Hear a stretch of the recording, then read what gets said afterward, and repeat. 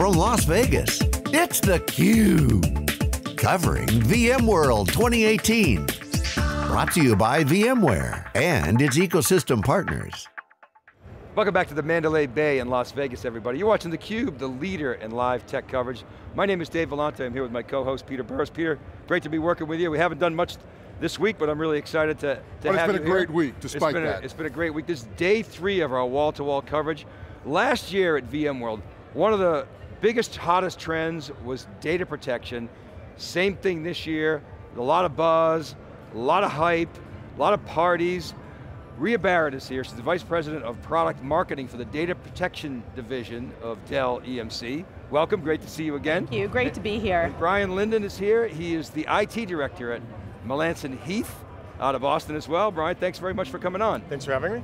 So Ria, I mean, we talk, you and I have talked about this. Yeah. What's going on in data protection? I mean, VMworld, it's, it's, it's become the hottest topic. Absolutely. You're seeing you guys, some, some of the VC funded startups are trying to duke it out, throwing big parties, throw, right? You guys got all the customers, everybody wants them, you're fighting like crazy. Cloud has now come in. What's your take? What's going on? Well, it's really exciting. I mean, data protection, I started out my career in data protection, you know, but move forward, and back in data protection is hotter than ever. It's, it's great. And I think it has to do with the trends um, that are happening out in the market, the big mega trends that are happening. We talk about distribution, you know, data moving out of the data center where the four walls are no longer defining how you secure something. So security, recoverability are becoming really critical as you talk about edge, and data moving to the edge and to cloud computing and multi-cloud computing, I think it's going to be one of those frontiers that the enterprise still wants to have a reign over. How do I recover my data no matter where it's sitting and how do I get it back and how do I secure it? So it's very exciting. So Brian, talk about Melanson Heath, uh, set it up, company, you know, tax accounting, Boston-based, New England, et cetera, your role, and really want to understand the drivers in IT, but start with the company, please. Yes, uh, Melanson Heath is a uh, top 10 accounting, regional accounting firm in New England. Uh, we have offices in Massachusetts, New Hampshire, and Maine.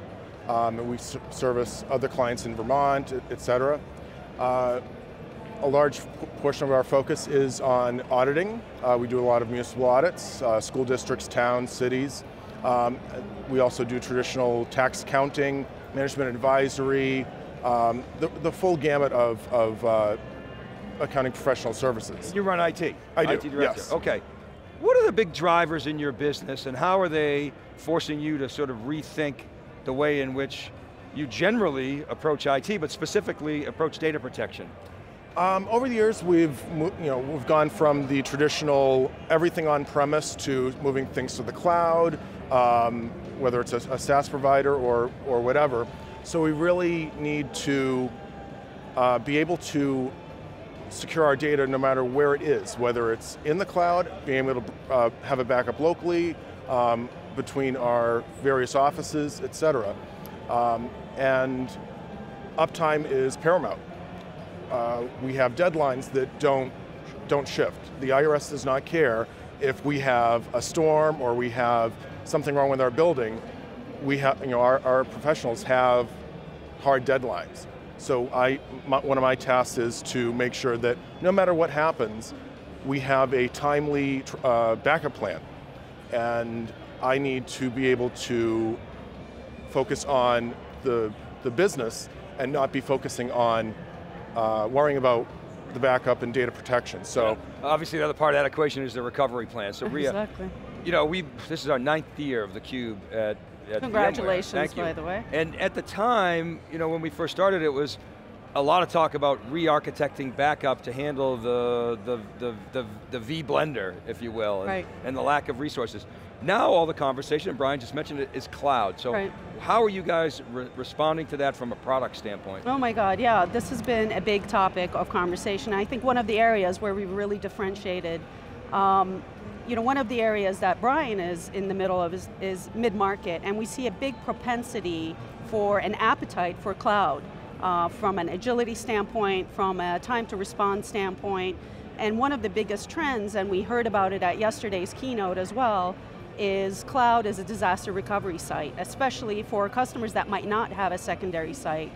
So uh, we recently introduced a product called the DP4400. Uh, Brian's actually the first customer to purchase the product, so um, in July we announced it. One of the key differentiations of that product is the ease of which customers can now access cloud. You know, whether it's for long-term retention or cloud disaster recovery without needing any additional hardware. Literally, it's at the fingertips, you manage it exactly the way you would. You can manage it directly from your VMware operational tools and have access to cloud as a secondary site, whether it's for DR or long-term retention.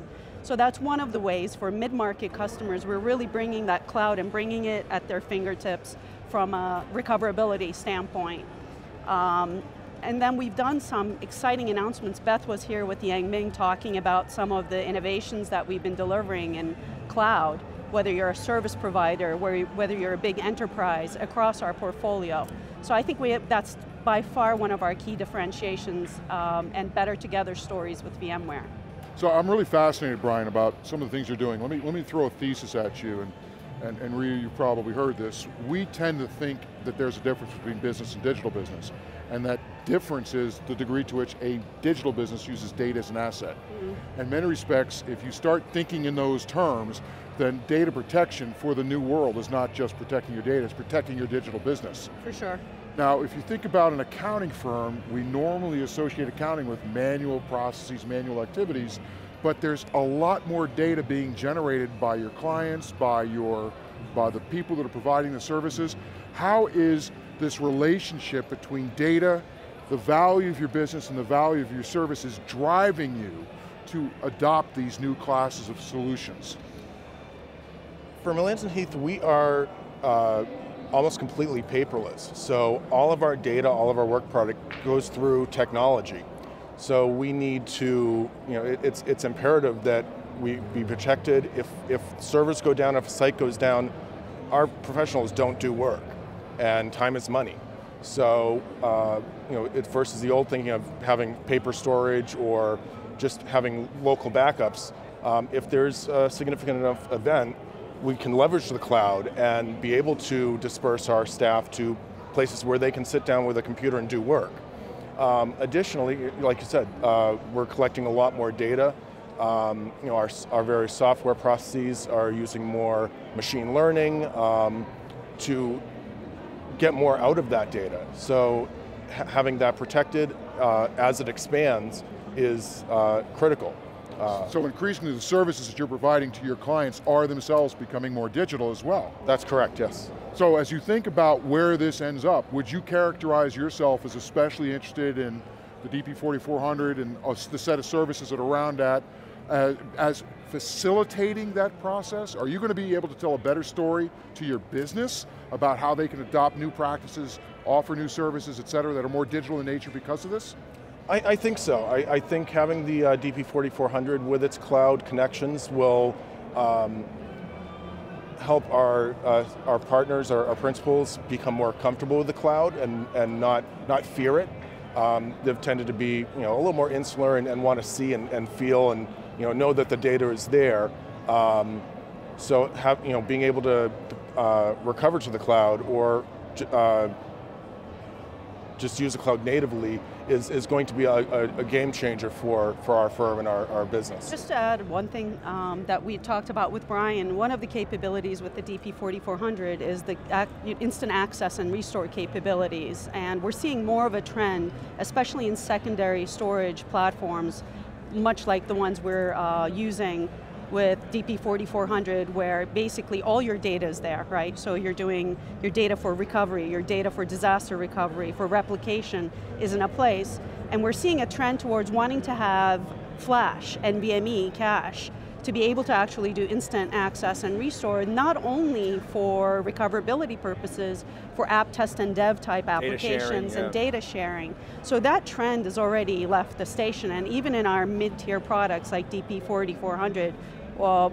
you know, targeted specifically for commercial buyers and mid-sized organizations, we're bringing that enterprise class capabilities and making it available to them to be able to leverage not only cloud, but also on premise. And, and your cloud is, are you all cloud, are you some cloud, you hybrid? We're, we're hy hybrid. We do have a lot of on-premise. We are migrating things over the years to the cloud, and that's certainly going to be the trend. And, and, and is that in effect, or in part, what's driving you to rethink how you approach data protection, or how did that affect your data protection decisions?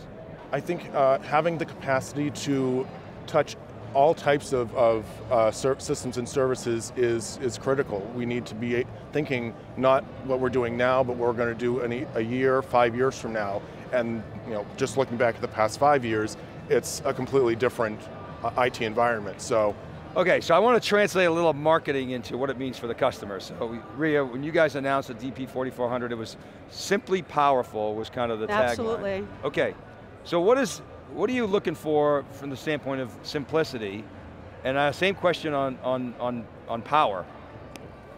Uh, simplicity, you know, the DP4400 is a 2U unit. Goes right in the rack, it's not use of, of various in, you know, interconnected components that you have to you know, figure out how to connect. It's one interface, it's extremely simple and quick to deploy.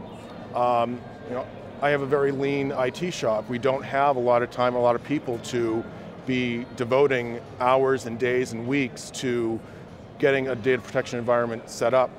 Um, our previous solutions were much more complicated, uh, different interfaces, always changing interfaces, and they didn't really work well.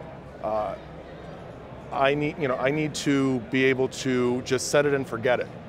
It's, it's an insurance policy is what it is you know, when something goes wrong, I need to know what's going to happen to from the moment that the uh, disaster is uh, recognized to when our staff will be able to get back up and working. Okay. And I, uh, the DP 4400 just makes that extremely simple. Okay, so it's simple, not just simpler. No. Is that right? It's simple. It's okay. simple. And what about the powerful piece? What, is it, what does that mean?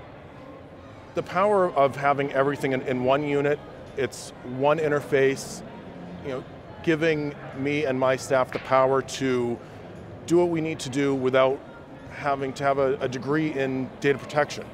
It's very simple to learn, very simple to use.